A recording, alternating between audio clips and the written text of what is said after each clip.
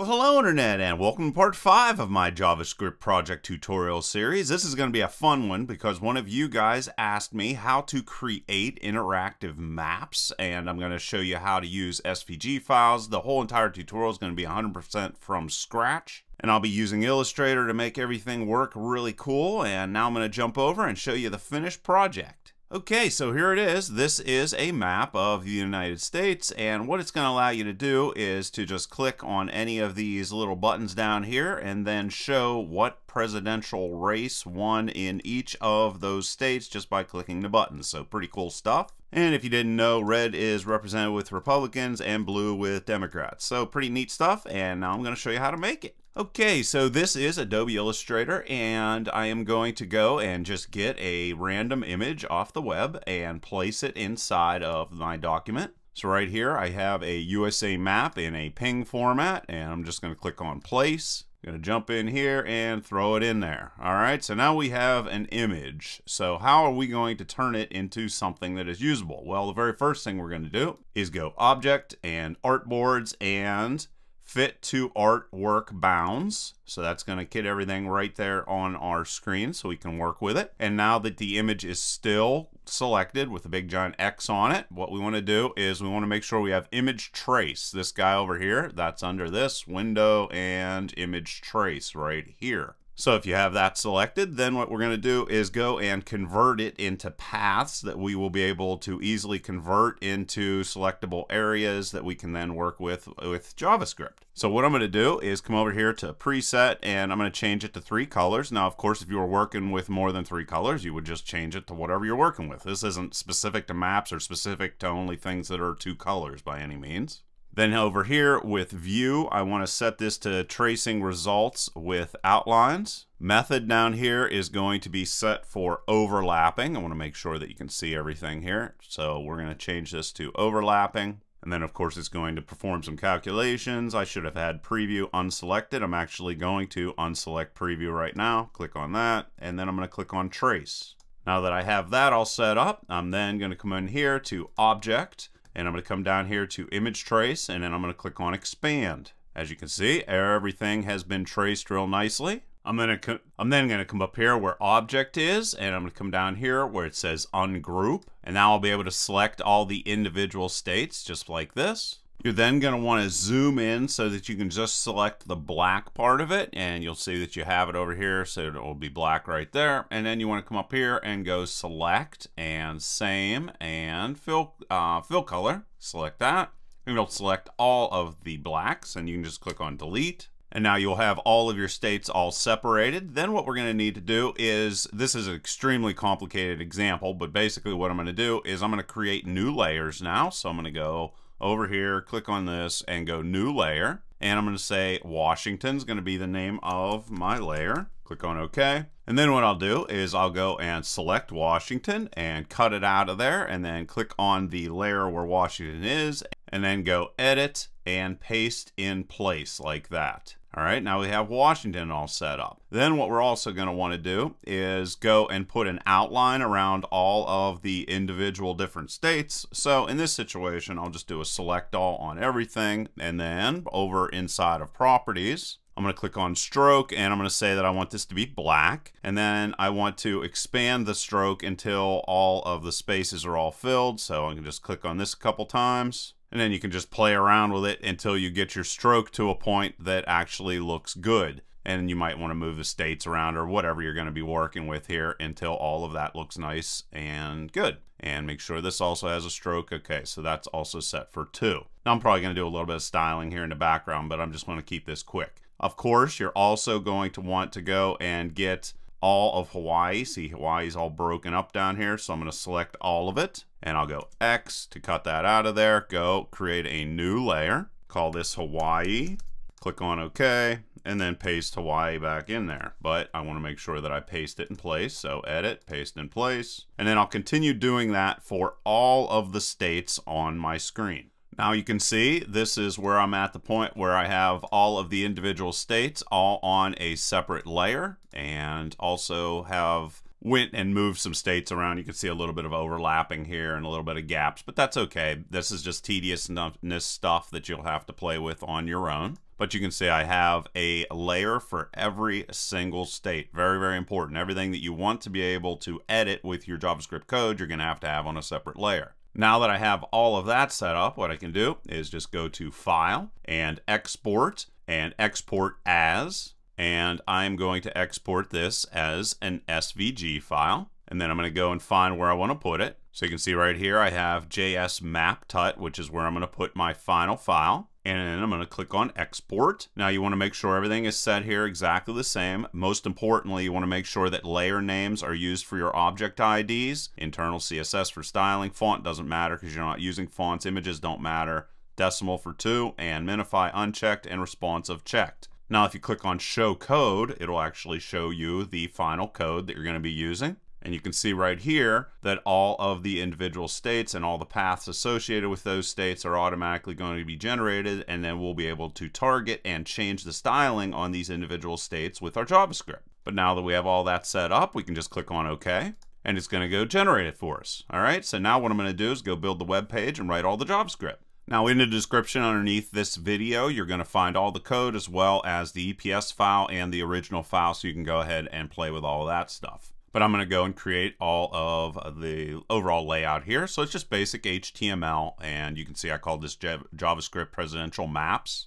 Here is a link to a CSS file. And here is a link to my JavaScript file. Before I go on, I'll show you the main style.css. It's very, very simple. I just have a body with some padding and margins and borders. You can pause your screen if you want to type all that in. I didn't want to cover it all. I have a CSS tutorial if you want to learn more about CSS and I basically have a wrapper around everything just so that I can go and have everything be centered. And then I'm going to be using a custom button here and you can see all that. So that's all of the uh, CSS code that is used in this entire tutorial. So back over into the HTML. All right, so down inside my body section, what am I gonna put inside of it? Well, basically, I'm just going to paste that SVG file, and you can see the SVG file is right here, and that's going to make it very easy for me to go in there and edit everything. But I'm going to put in the buttons here first as well as a wrapper. So right after body, I'm going to go and put a div inside of here and give it the class name of wrapper. Then inside of that, I need to put in my buttons and I'm going to throw some break statements before that, but this is going to be very, very simple. So I'll have button type is equal to button class is going to reference the class name that I gave it inside of my main style.css. So this guy, here is the button styling that I'm going to be using. I can just go and copy this. You can see it's exactly the same as what I have right there. Then I'm just going to use on click here because I do not need to change anything is equal to. And then I'm just going to go and call specific functions to call based off of which one of these buttons was clicked on. Then after that, I'll put 1996 results like you saw at the beginning of the tutorial. And then I just have to create a button for each one of the years that I want to deal with. So I have 1996, I'm going to have 2000 and 2004. Again, I'll just change the function that I'm going to be calling and this right here and there I have all of my buttons inside of there. And now what I need to do is I'm just going to go and get this raw SVG file and I'm going to copy it. So I'll select all and copy it. Jump back over into the HTML and then I can just paste it directly inside of here and then I will be able to work with everything. Just paste it inside of there and there is everything. And then all I want to do here is at the end of the SVG file, I'm going to throw in some break statements between it and the buttons that I have. And that is all that I need to do to get all of that complicated stuff to work. And you can see it's just the SVG file that was pasted directly inside of the HTML file. And you could, of course, reference this uh, document or do whatever you want, but you cannot import it as an image or put it inside of an iframe because that's going to cause all kinds of limiting capabilities that are not going to allow us to edit it like we will want to with our JavaScript code. Okay, so everything's set up. Now I'm going to jump over and write that JavaScript code. All right, so the very first thing I want to do is I want to reference, I'm going to create a state array that's going to have all of the states inside of it, and they have to be exactly the same as the layers that you defined inside of Adobe Illustrator. So very, very important. So I'll just go Alabama,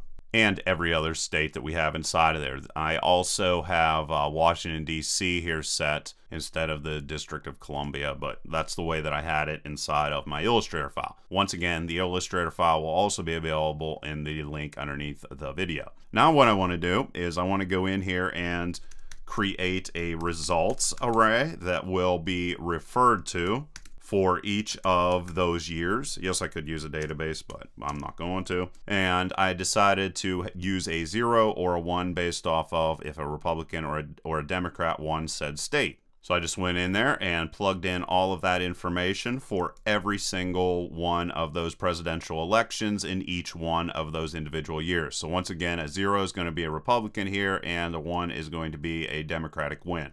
And I'm not making a political statement by saying one is a zero and the other is a one. I'm just using it mainly because it's simple. Now what I need to do is go and get this working with all of the functions that I referenced with my buttons. So here are the buttons, and I'm just keeping this nice and neat and easy to understand. So I'm going to have to create one of these for each one of the buttons. And yes, I could do all kinds of fancy things, but I just want to keep this tutorial very straightforward here. I could condense the code, but in doing so, make it, the code a lot less understandable. Then what I'm going to do is I'm going to call a function that's called change colors, which I'll create here in a second. And I'll pass in results 1996 inside of there, which is going to be, in this situation, this array right here. And then we will process based off of what the array name is. Now what I need to do is I'm going to create one of these and I could use a switch statement. Like I said, I could do all kinds of fancy things, but I'm just trying to keep this tutorial straightforward so it's easy for pretty much anybody to understand. So I'll do the same thing for the year 2000 results. And I'll also do the same for 2004. Once again, all I'm doing is changing what array is being passed in 2008, 2012, 2016. So we got all those functions all set up. Now all I need to do is come in here and create the change colors uh, function and it will be passed in the array that I want to use for going and changing the colors inside of it. Then what I need to do is just create a for loop and this for loop is going to loop as long as there are additional items inside of the state array. So this guy way up here, so it's going to cycle through every single state that we have. So I'll just go i is less than the state array, and then I will increment i as I go through that. Then what I'm going to do is I'm going to create state element, and I'm going to go and target each specific element inside of the SVG tag, you know, that image that I had went and created. And how I do that is I just go document, get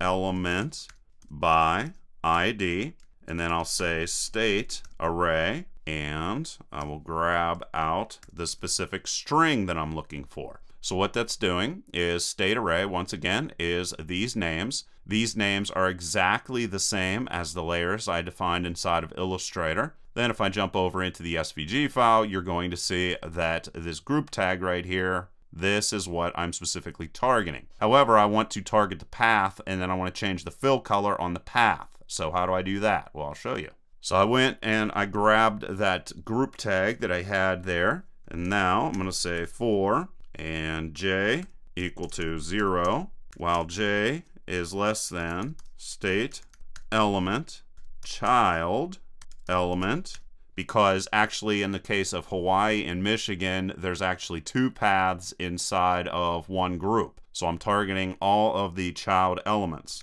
If you want to find out how many elements are inside of a tag you go child element count and that'll get you that. So I'm going to cycle through each element or each child element inside of this tag that I went and targeted right here. Then I'm going to say if array year, now I'm going to be using the year that was passed in, so specific data that's specific to each one of those years, I, and then I will say state element and this specifically array year is going to be this guy. So it's telling me, is it a Republican or is it a Democrat? And I'm going to color it either blue or red, depending upon which one of those comes back as true. So I'll state state element, children, and J. And if I want to set an attribute on an element, I just go set attribute. And I specifically want to change a style on said attribute. And that style I want to change is the fill color. And the color that I want it to be in this situation is this color right here. And then I will just say else if that is not true. So if true we're going to change it into a blue. And if not true we're going to change it into a red so pretty simple. I mean, I'm doing something that looks really complicated, but it's really not that complicated if you know what tools to use. So I'll say A92B17 and save that. Make sure I have all my closing tags and save that and jump over and test it. And if I do, you're going to see that it's exactly what I showed you at the beginning of the tutorial. So we can go 1996 results, whoops, something went wrong. So let's go figure out what the bug is. First off, I can just go in here and go view developer and see if there's some sort of bug that pops up with developer tools. Nothing does, so let me look at the code. Well, if I see if I come over here to state array, I need to come in and put state array length. Otherwise, I won't be able to get that. And uh, everything else is the same. So let's save that, see if that was the only error. Reload it, and now you can see it's working. All right, so pretty cool stuff. Fun tutorial for me to make. I'm happy I was able to also make a tutorial that solved a problem for people, and hopefully you guys like this. And like always, please leave your questions and comments below. Otherwise, till next time.